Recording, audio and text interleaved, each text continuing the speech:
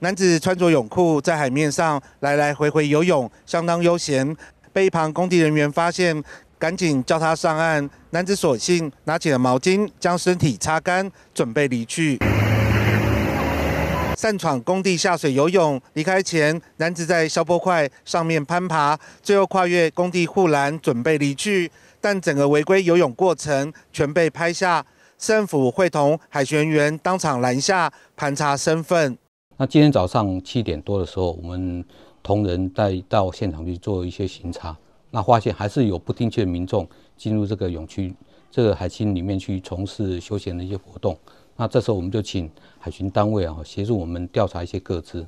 那等这个海巡单位将这些个资送到我们这边的话，我们届时会依照渔港法第二十一条处这个不听劝的泳客哈三万块的罚款。海星泳池因为设备老旧，封闭整修到十二月，但民众却无视公告，违规擅闯工地下水游泳。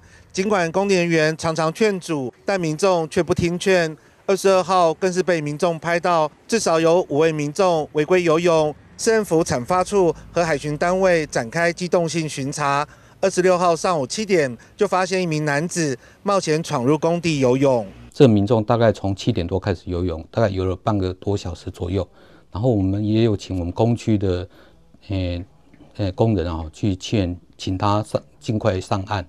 啊，当下这个泳客有表示说他有悔改，然后希望我们不要给予处罚。那不过因为我们这个工区其实我们有一个工区都我们有完整的一个告示，那我们也在各。诶，宣传媒体里面去宣传，就是说尽量这个工区我们未经许可是不得进去的。好，那针对这个泳客的一些行为，我们届时还是会依照渔港法第二十一条啊处以他三万元的罚款。未来啊，哈，如果说有民众反映提供任何的检举的影片或照片的话，我们针对这个未经许可进入我们工区的一些民众，我们都会请警察单位协助调查这个个资。男子见司机败露，准备离开现场，当场被海巡员和市府人员拦下，依据违反渔港法，开出三万元罚单。男子下水才三十分钟，就收到三万元罚金，可说是代价不小。记者黄少明、基隆报道。